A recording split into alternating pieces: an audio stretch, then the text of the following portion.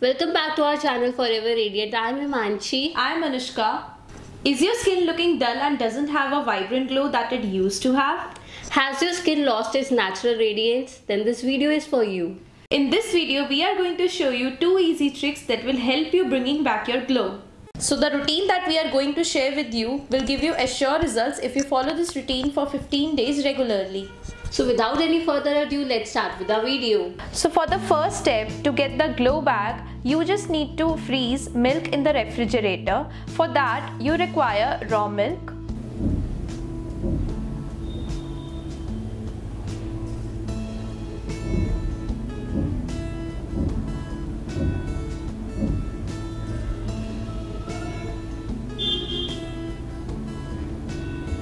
So the next step to get that glow back, you require papaya gel.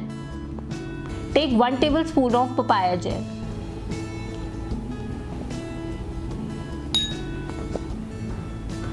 Now add 1 capsule of vitamin E in it.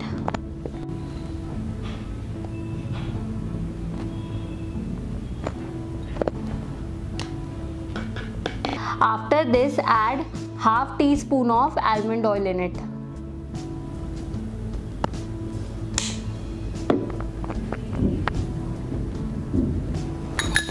And the last ingredient which is rosemary oil. Add only few drops of rosemary oil in it.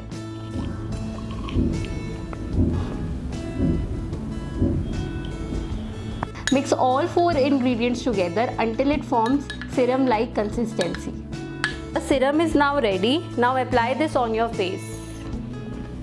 Now take the gel on your fingers and start massaging all over your face don't know about you all, but if there is one fruit that you can all depend on in any season is the papaya. Papaya moisturizes your skin, clears pigmentation, reduces eye wrinkles, reduces under eye dark circles. Not only this, it cures eczema and melasma. After massaging 5 to 7 minutes, go to sleep and wash your face in the morning with normal water. I hope you all like these remedies. Please try them and tell your results in the comment section below. One more thing, if you are too much tan then don't try these remedies. Firstly, remove your tan by watching our previous video. Click the I button above and watch it. Subscribe to our channel. Click the like button if you like this video. Share with your friends and family. Also on our social media handles. Links are given in the description box. Meet you in the next video.